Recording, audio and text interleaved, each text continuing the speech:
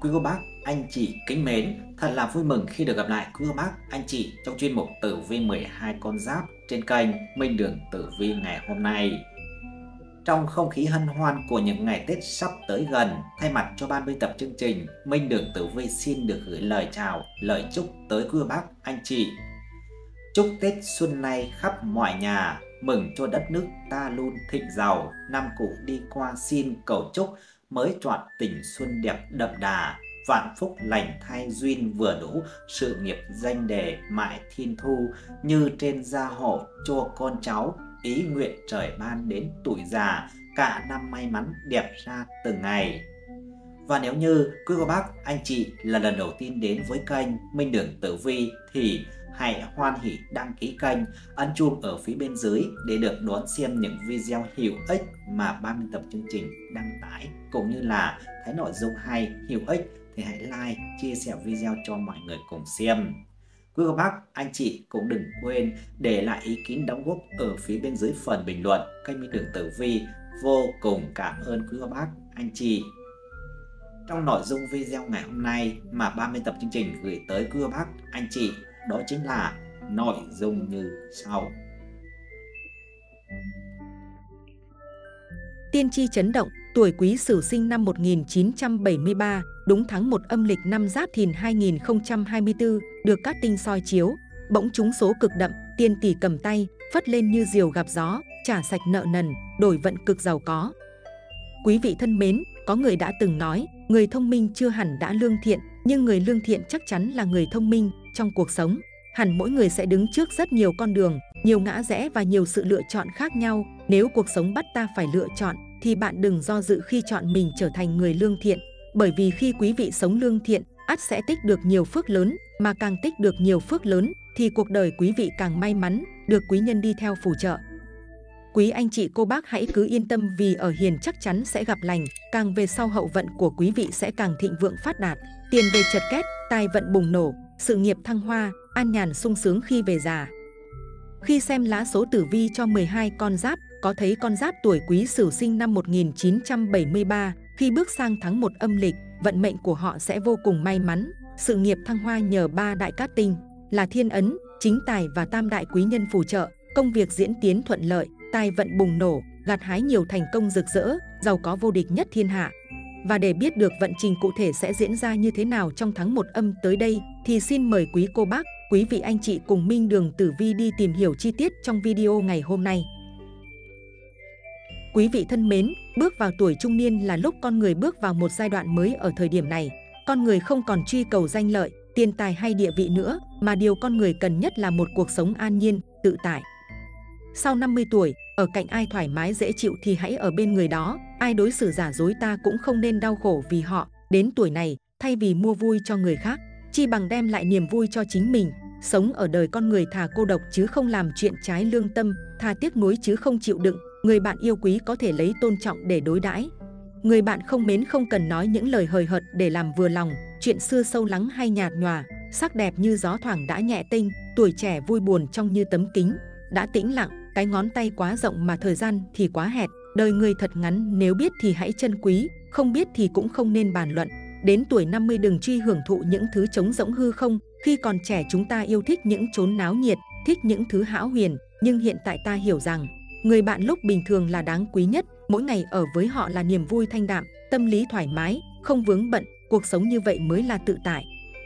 Đến tuổi 50 đừng mua vui cho người khác, trước đây luôn nghĩ rằng mọi sự đều chu toàn, ai nấy đều quý trọng ta, hiện tại thấy rõ rằng ta cũng không phải là tiền, ta không có cách nào khiến mọi người đều hài lòng, bạn đối xử với tôi tốt, tôi sẽ đối xử với bạn tốt hơn.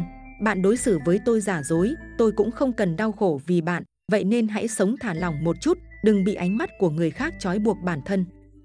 Đến tuổi 50, biết được tầm quan trọng của sức khỏe, ngày còn trẻ chúng ta luôn thích uống rượu nói chuyện vui vẻ, vui chơi hết mình, thường xuyên thức khuya, cứ ham hố thỏa mãn cái miệng nhất thời, ăn nhiều thứ có hại cho thân thể, hiện tại hiểu ra thân thể khỏe mạnh mới là nền tảng để hưởng thụ hạnh phúc. Ăn nhiều các loại ngũ cốc tốt cho sức khỏe, những thứ đến từ tự nhiên mới nuôi dưỡng con người tốt nhất, cần bắt đầu chăm sóc tốt cho dạ dày. Đến tuổi 50 cũng hiểu rằng, bạn bè không cần nhiều mà cần chất, Trước đây ta luôn dành nhiều công sức vào kết giao bạn bè, luôn nghĩ rằng ai với ai cũng đều như nhau. Thế nhưng đến hiện tại ta hiểu rằng một xe khoai tây không bằng một viên dạ Minh Châu, có nhiều bạn bè rượu thịt đến mấy cũng có tác dụng gì đâu. Bình thường khi ta giàu có thì thấy bạn bè một nhóm hòa khí, nhưng khi khó khăn xảy đến một số người hiện rõ nguyên hình, lúc cần giúp đỡ ta mới hiểu được lòng người. Vậy nên, sau 50 tuổi đừng vì châm trước cho người mà để oan ức cho mình, trên thế gian này người đáng để bạn cúi đầu bi lụy không có mấy ai. Sau 50 tuổi cuộc đời đã đi quá nửa, khi sống đừng gây phiền người khác, quan trọng hơn là phải khiến bản thân sống thoải mái và trái tim đừng mệt mỏi quá. Bạn cũng nên nhớ rằng, đến tuổi 50 đừng mua vui cho người khác mà hãy tìm niềm vui cho chính mình. Trước tiên, hãy cùng tìm hiểu tổng quan tính cách người tuổi Quý Sửu, sinh năm 1973. Trời sinh những người tuổi Sửu thường rất thông minh, họ có thể dễ dàng nhìn thấu bản chất sự việc, tính cách phóng khoáng, không so đo hơn thiệt. Trong công việc, tuy giỏi giang, có năng lực, song người tuổi Sửu lại rất an phận, họ chỉ quan tâm làm tốt phần việc của mình chứ không hề có suy nghĩ tranh giành thiệt hơn.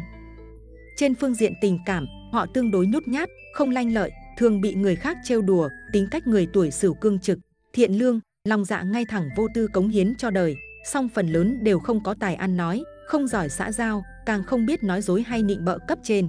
Người tuổi Sửu rất coi trọng tình bạn, luôn sẵn sàng giúp đỡ khi bạn bè gặp khó khăn, là người được bạn bè cực kỳ tin tưởng.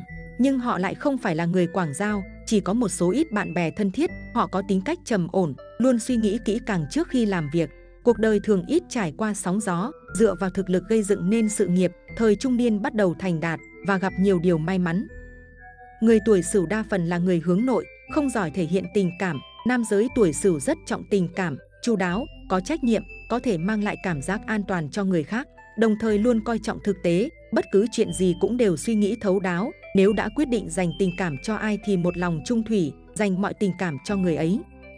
Người tuổi Sửu nên tránh kết duyên với người có tính cách tương đồng với mình, bởi nếu có quá nhiều điểm chung, sẽ rất khó để duy trì tình cảm lâu dài, nên chọn người tuổi Tý có tính cách lạc quan vui vẻ để cuộc sống trở nên thú vị hơn. Người tuổi Sửu có tài trí hơn người, ngay thẳng lương thiện, luôn làm việc hết mình, vô tư không suy nghĩ thiệt hơn. Trong công việc, người này thích một mình đối mặt với mọi vấn đề. Khi chưa rơi vào đường cùng thì nhất quyết không dương cờ cầu cứu, do luôn kiên trì trong mọi việc nên cuối cùng thường có thể giải quyết tốt mọi vấn đề. Tuy nhiên, tính cách người tuổi Sửu như vậy nên thời gian đầu khó giành được sự cảm thông, thấu hiểu của lãnh đạo và đồng nghiệp. Song theo thời gian họ dần thể hiện được năng lực của bản thân và được mọi người nể trọng. Người tuổi Sửu rất coi trọng bạn bè, luôn dương cao lá cờ trượng nghĩa, hễ bạn bè gặp khó khăn là sẽ nhiệt tình giúp đỡ, không màng báo đáp, cũng chẳng cần bạn bè biết đến sự giúp đỡ của mình. Nhưng khi bản thân gặp khó khăn, họ lại hiếm khi tìm đến bạn bè, dù khổ sở đến đâu vẫn cắn răng chịu đựng, tự mình giải quyết vấn đề. Người tuổi Sửu không ưa buôn chuyện, dù nghe thấy chuyện gì thú vị cũng chỉ tự vui một mình, không bao giờ ba hoa, đưa chuyện. Vì thế mà rất được bạn bè tin tưởng, thổ lộ tâm tình, họ thiên về trầm tĩnh, làm việc hiệu quả, biết tổng kết kinh nghiệm để làm việc ngày một tốt hơn. Vì thế, bước vào tuổi trung niên, sự nghiệp sẽ có nhiều khởi sắc, kinh tế cũng dồi dào, cuộc sống phú quý giàu sang. Trong chuyện tình cảm, người tuổi sử rất chu đáo, cũng rất mực trung thủy, làm gì cũng suy nghĩ cho đối phương, khiến đối phương cảm thấy an toàn, hôn nhân hạnh phúc bền lâu. Đánh giá tổng quan vận trình tử vi tuổi Quý Sửu, sinh năm 1973, tháng 1 âm lịch. Theo dõi tử vi tháng 1 năm 2024 âm lịch của 12 con giáp nhận thấy, Nguyệt lệnh quan đới cho thấy sự độc lập nhất định mà Quý Sửu tự xây dựng cho mình lúc này bắt đầu mang lại hiệu quả. Nhất là những ai đang làm lĩnh vực liên quan đến sáng tạo, thời gian này, những ai đang tìm việc muốn tìm những công việc có mức độ tự do cao. Tuy nhiên, trong một số tình huống bạn cần thích nghi hơn là cố tỏ ra mình luôn có thể thay đổi tình hình. Thái Dương cát tinh phù trợ cho nhân duyên của bản mệnh thêm phần hanh thông, thuận lợi, người đang yêu sẽ rất sẵn lòng gắn bó và dựa dẫm vào nửa kia nhiều hơn. Không còn ham chơi nữa, bạn cố gắng làm điều gì đó để gây bất ngờ cho người thương trong thời gian tới, nhờ thế mà làm mới tình cảm bấy lâu. Tuy nhiên, một số người cũng đừng hết lòng quá kẻo bạn dễ bị rơi vào tình trạng u mê, vướng mắc, tình cảm không đạt được mong muốn. Chính tài ghé thăm mang lại tin vui liên quan tới tài chính mà bạn mong đợi bao lâu nay, thu nhập đang có dấu hiệu đi lên, bạn có thể thu được một khoản tiền lời đáng kể từ việc đầu tư. Xét phương diện sự nghiệp tuổi Quý Sửu, sinh năm 1973, tháng 1 âm lịch. Tháng mới sẽ mang đến cho con giáp tuổi Quý Sửu động lực để hệ thống hóa lại quy trình làm việc của mình. Hãy cố gắng để bản thân có thể làm việc hiệu quả và ít bị phân tâm hơn. bạn đã và đang trên đà phát triển của chính mình. Tuy nhiên để có thể tạo được những bứt phá lớn trong sự nghiệp, thì đây là thời điểm bạn nên loại bỏ bớt những thói quen tiêu cực cũng như những niềm tin đang khiến bạn tự giới hạn bản thân. Tháng đầu năm mới cũng là lúc bạn có thể kết nối, mở rộng mối quan hệ với những người có sức ảnh hưởng trong lĩnh vực của mình. Ngũ hành xung khắc nhắc nhở con giáp tuổi quý sửu cũng nên biết lường sức. Giỏi không có nghĩa là làm tất cả. Nếu khối lượng công việc đang vượt ngoài khả năng, thì bạn hãy cân nhắc đến việc tìm sự trợ giúp từ bên ngoài nhé. Xét phương diện tài lộc tuổi quý sửu, sinh năm 1973, tháng 1 âm lịch. Tử vi tháng 1 năm 2024 tuổi quý sửu âm lịch dự đoán, ngũ hoàng nhập phương chính bắc, mệnh chủ có điểm báo đi xa, chủ yếu là vì công việc. Song lần này bạn sẽ gặt hái được khá nhiều thành quả ngoài mong đợi, vì thế hãy luôn giữ tâm thế chủ động cho mọi việc. Người làm công ăn lương hãy cứ chăm chỉ, nỗ lực, vừa là để học hỏi vừa gia tăng thêm thu nhập ngoài lương cứng cho bạn. Nhìn chung cuộc sống của bạn lúc này đã thoải mái hơn, không phải lo nghĩ quá nhiều về việc chi tiêu, mua sắm như trước nữa. Có thể là nhiều người tuổi quý sửu nhận được một khoản thưởng hậu hĩnh hoặc có quà từ người thân đi xa trở về. Nhìn chung, lúc này là thời điểm khá rực rỡ về khía cạnh tài chính của bản mệnh. Người làm ăn kinh doanh chịu tác động của Nguyệt lệnh lâm suy, nên mọi việc đều có dấu hiệu bấp bênh, thiếu vững chắc, thậm chí một số người bị mất định hướng nên khó có thể đưa ra quyết định chính xác để đem về lợi ích kinh tế. Bạn nên trao đổi với đồng nghiệp, cấp dưới, đối tác của mình nhiều hơn để có thể khắc phục tình trạng trước mắt, chớ nên kéo dài kẻo rơi vào cảnh thua lỗ. Khi có cơ hội xuất hiện trước mắt, bạn cũng cần chủ động nắm bắt hơn. Nếu cứ chần chừ do dự thì thời cơ sẽ rơi vào tay của người khác. Hãy tin tưởng vào chính bản thân mình để có thể dám thử sức, dám thử nghiệm. Đừng lo trước lo sau rồi cuối cùng lại không làm được gì, chỉ dậm chân tại chỗ. Cát tinh Thái Dương xuất hiện là dấu hiệu đáng mừng cho công việc của bản mệnh, tuy nhiên nam giới sẽ gặp được nhiều may mắn hơn. Nếu bạn chịu cố gắng khắc phục khó khăn, thì đến cuối tháng vẫn có túi tiền dùng rỉnh, dù không phát tài nhưng không lo chuyện chi tiêu. Xét phương diện tình duyên tuổi Quý Sửu, sinh năm 1973, tháng 1 âm lịch.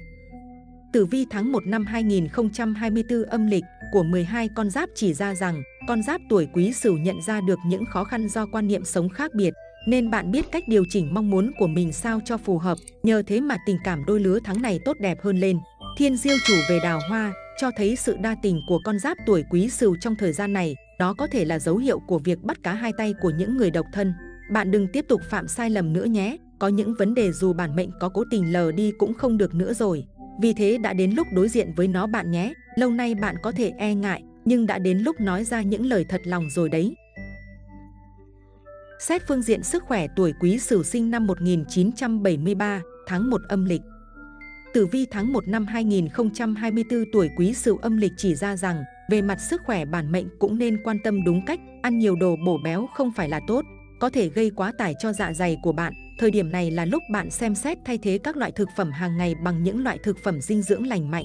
Thời điểm lạnh giá là lúc cần chú ý giữ gìn sức khỏe, luôn cố gắng giữ ấm cơ thể, nhất là phần đầu, ngực, hai bàn tay, chân, không nên đi ra ngoài quá thường xuyên kẻo bạn dễ bị ốm. Sau đây là vận trình tử vi chi tiết từng tuần trong tháng 1 âm lịch của người tuổi Quý Sửu, sinh năm 1973. Xem tử vi tuần 1, tháng 1 âm lịch. Tử vi tuần mới của tuổi Quý Sửu sáng sủa và hanh thông, may mắn tốt lành với nhiều điều vui vẻ, tâm trạng thoải mái phấn khởi, khiến cho bạn tiến hành công việc cũng nhanh nhẹn và hiệu quả hơn, đối nhân xử thế tích cực, gặp ai cũng niềm nở, tự nhiên vận trình lại càng thêm hanh thông. Sự nghiệp tuy chưa thể một bước thành công, nhưng những kế hoạch mà con giáp này đề ra đều hoàn thành thỏa đáng. Thiên quan vừa giúp bạn ổn định vững vàng, nhưng không thiếu sự trải nghiệm với những lĩnh vực có tính thử thách mới mẻ và thêm chút mạo hiểm để thử sức trong năm mới. Tài lộc thu về không thiếu, nhưng xuất hiện đại hao, khiến bạn mất khoản tiền lớn vì những việc bất ngờ hoặc bị trộm cắp tài sản. Thua thiệt này khiến tâm trạng của tuổi quý sửu trùng xuống, nhưng rất nhanh bạn sẽ lấy lại bình tĩnh và cố gắng rút kinh nghiệm để lần sau không lặp lại sự bị động này nữa. Vận trình tình cảm tươi sáng vô cùng, cơ hội tốt để bạn nghĩ tới chuyện thăng cấp cho tình yêu, để cả hai có thể danh chính ngôn thuận sống chung nhà cùng nhau. Mùa xuân hoa nở kết hôn là chuyện hỉ có thể giúp bạn cùng mọi người thêm rạng rỡ, góp phần làm không khí sôi động hơn. Quý nhân, ý, tỵ, tiểu nhân, tuất, mùi, màu sắc may mắn, trắng, đen, con số phát tài 56, 24, 69. Xem tử vi tuần 2 tháng 1 âm lịch Xem tử vi tuần mới của người tuổi quý sửu có thể nhận ra con giáp này có nhiều điểm có thể vui mừng, ví dụ như tài chính dùng dình hơn. Chuyện tình cảm cũng thuận lợi suôn sẻ hơn, nhưng ở khía cạnh khác, bạn cũng phải lo toan cho gia đình và xu hướng sức khỏe giảm sút, không thể hoàn toàn yên tâm được. Công việc vừa khó, vừa dễ, có lúc thoải mái, có lúc lại khó khăn, thay đổi nhanh chóng nên bạn cũng phải bắt nhịp thật nhanh, không để mình tụt lại phía sau. Nếu thích ứng được thì dịch mã năng động sẽ cho bạn những khoản thu nhập xứng đáng, thỏa sức mà kiếm tiền không lo đói kém. Tình cảm riêng khá ổn định, hai người không có nhiều thăng trầm và tiến dần tới trạng thái bình lặng, nhưng gia đình là nỗi lo. Người thân có nhiều điểm khiến bạn phiền muộn, có thể là sức khỏe của cha mẹ không tốt, anh chị em không tu trí làm ăn, hoặc quan hệ trong nhà căng thẳng khúc mắc.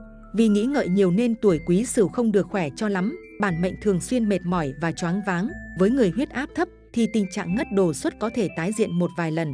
Tốt nhất là nên tới bệnh viện kiểm tra và xin lời tư vấn của bác sĩ, đừng chủ quan để tới lúc tình hình không kiểm soát được thì rất tệ.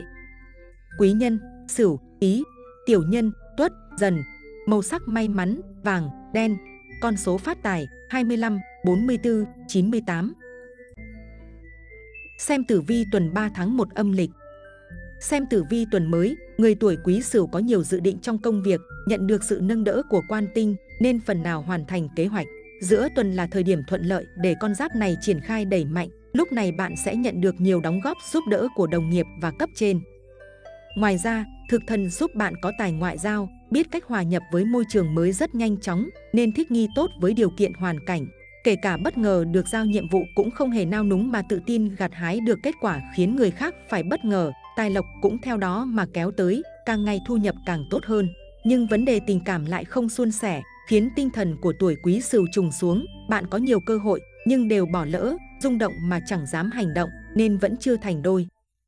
Với người đang yêu đã kết hôn thì mối quan hệ ổn định xong có phần nhàm chán, cần thêm sự kích thích, đổi mới để thay đổi nhịp sống mờ nhạt buồn tẻ. Chủ động mở lời hẹn hò là chìa khóa thành công cho bạn, đừng ngại ngần cả khi người đó chưa bật tín hiệu đèn xanh hay nếu bạn là nữ giới. Không hơn thua gì một lời mời, có thể sẽ bị từ chối, nhưng đó là dấu hiệu của sự khởi đầu tích cực, bạn dám thay đổi thì nhân duyên sẽ có nhiều mới mẻ. Quý nhân, tỵ, dậu, tiểu nhân, mùi, mão, màu sắc may mắn, trắng, xám, con số phát tài 65 21 07. Xem tử vi tuần 4 tháng 1 âm lịch. Tuần này người tuổi Quý Sửu có thiên đức cát lợi, vừa hài hòa lại may mắn giúp vận trình hướng về trạng thái cân bằng. Tuy vẫn còn nhiều mệt mỏi chưa thể giải quyết, nhưng ít nhất bạn cũng đã thấy hướng đi tươi sáng mới mẻ.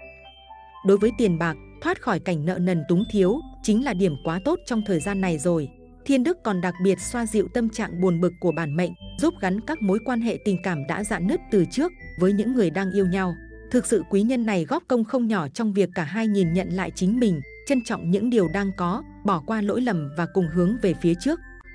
Tài lộc mới có khởi sắc, chính tài khôi phục giúp tuổi quý sửu có thêm đồng ra đồng vào, trang trải các khoản chi tiêu, thực ra thì vẫn chưa đủ. Còn nợ lại nhưng ít thôi, tiếp tục làm việc chăm chỉ cố gắng như hiện nay thì chẳng mấy chốc sẽ hoàn thành đầy đủ và còn dư ra nữa nên đừng quá lo lắng. Có lo thì hãy quan tâm tới công việc, đề phòng sự dèm pha của đối thủ, đừng gây ra lỗi lầm nào để người khác bắt được, hòa nhã với người ngay không ai tử tế với kẻ gian. Đừng thỏa hiệp trước những người có ý định cố tình chơi xấu bạn, tránh càng xa càng tốt để không trở thành nạn nhân cho những âm mưu toan tính.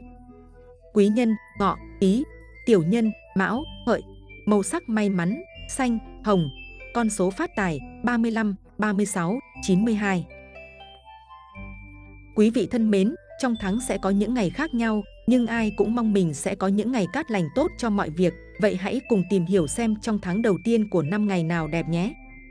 Ngày mùng 1 tháng 1 năm 2024, khởi công tạo tác việc chi cũng tốt, tốt nhất là chôn cất, cưới gả, trổ cửa, dựng cửa, đào kênh, tháo nước, khai mương, móc giếng, chặt cỏ phá đất, những việc khác cũng tốt như làm ruộng, nuôi tầm, khai trương, xuất hành, nhập học.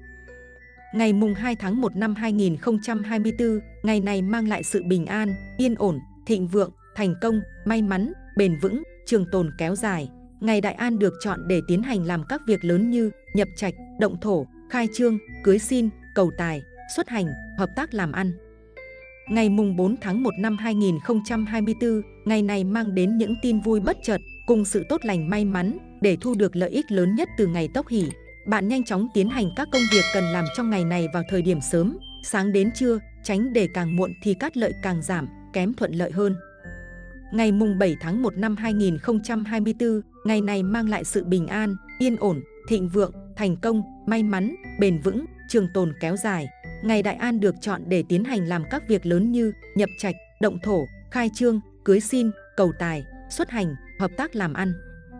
Ngày mùng 9 tháng 1 năm 2024, khởi công tạo tác việc gì cũng lợi, tốt nhất là xây cất, cưới gả, chôn cất, dọn cỏ phá đất, gieo trồng, lấy giống. Ngày mùng 10 tháng 1 năm 2024, ngày này mang đến những tin vui bất chợt cùng sự tốt lành may mắn để thu được lợi ích lớn nhất từ ngày tốc hỷ. Bạn nhanh chóng tiến hành các công việc cần làm trong ngày này vào thời điểm sớm, sáng đến trưa, tránh để càng muộn thì cát lợi càng giảm, kém thuận lợi hơn. Ngày 11 tháng 1 năm 2024, tạo tác mọi việc đều đặn vinh xương, tấn lợi, hôn nhân cưới gả xanh con quý, công danh khoa cử cao thăng đỗ đạt. Ngày 12 tháng 1 năm 2024, ngày này mang lại sự bình an, yên ổn, thịnh vượng, thành công, may mắn, bền vững trường tồn kéo dài.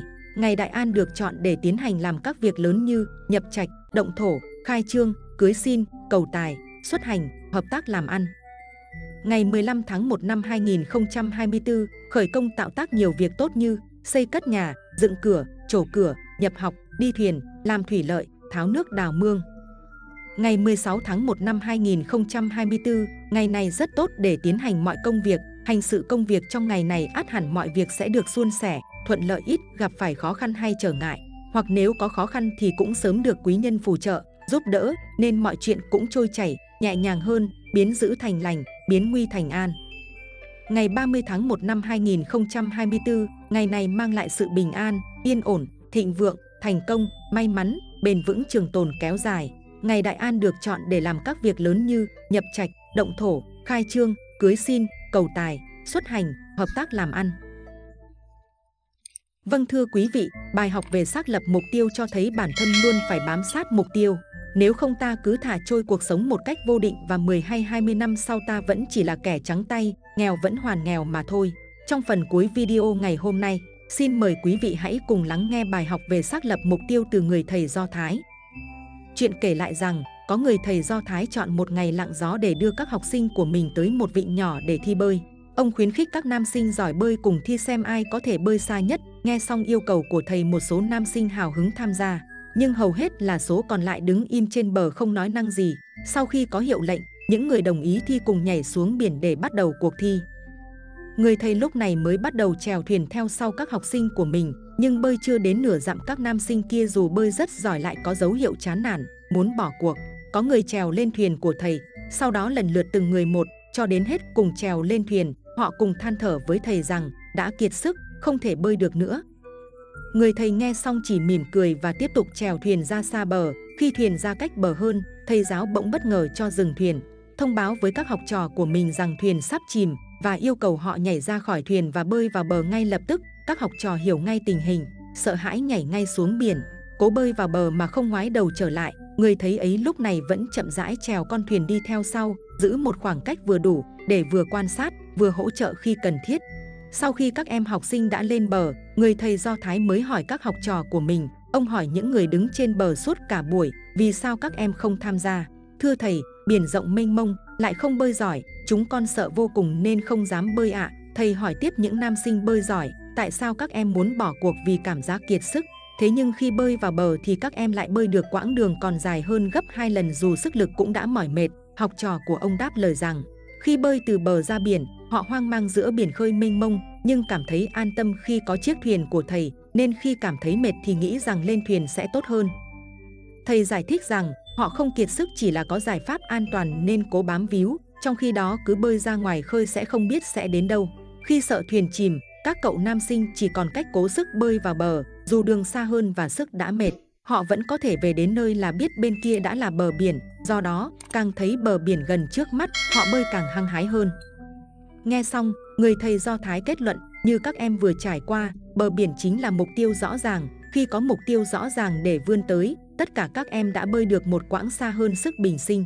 Mục tiêu rõ ràng trong tầm mắt đã truyền cho các em sức mạnh, sự kiên trì và niềm tin để chinh phục mọi khó khăn. Không chỉ vậy, khi các em bơi vào bờ, ai nấy đều cùng suy nghĩ rằng con thuyền của thầy đang chìm. Lúc ấy, các em hiểu rằng không còn có thể dựa vào con thuyền nào nữa, chỉ còn sức lực còn lại của mình nên các em đã cố gắng bơi vào cho bằng được.